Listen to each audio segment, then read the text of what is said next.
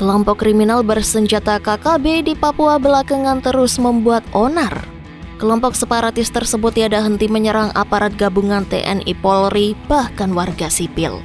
Prajurit TNI sebenarnya dapat dengan mudah melumpuhkan KKB Papua. Hal ini lantaran TNI Angkatan Darat menerima sejumlah helikopter tempur jenis AH-64E Apache Guardian buatan Amerika Serikat pada Desember 2017 sebagai helikopter tempur yang berfungsi untuk menghancurkan tank dan sasaran berat atau heavy target lainnya, Apache dilengkapi rudal-rudal api neraka yang dikenal sebagai EGM-114 Hellfire. Tidak hanya tank yang bisa dihancurkan Apache, helikopter musuh bahkan jet tempur lawan dapat dirontokkan oleh Apache menggunakan rudal-rudal AIM-92 Stinger.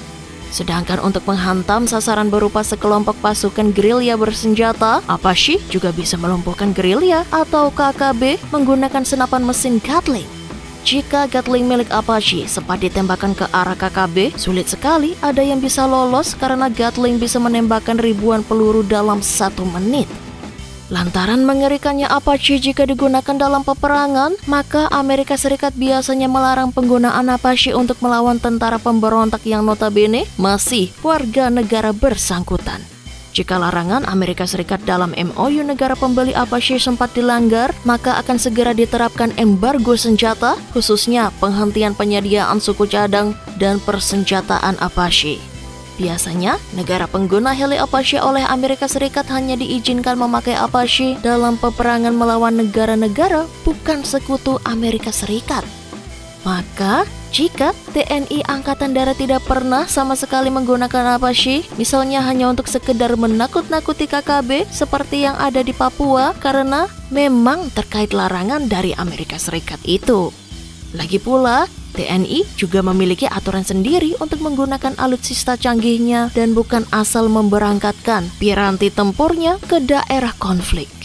Apabila TNI harus menggunakan alutsistanya seperti tank dan heli Apache ke daerah konflik di tanah air, maka pemerintah dengan persetujuan DPR juga harus membuat payung hukum berupa status operasi darurat militer. Tujuannya adalah agar operasi militer TNI legal dan sesuai koridor hak asasi manusia. Jadi, selama pemerintah menjeniskan bahwa orang-orang bersenjata yang berusaha merongrong keamanan Republik Indonesia hanya disebut sebagai KKB, maka yang diturunkan juga hanya pasukan Polri yang di backup oleh sejumlah pasukan TNI.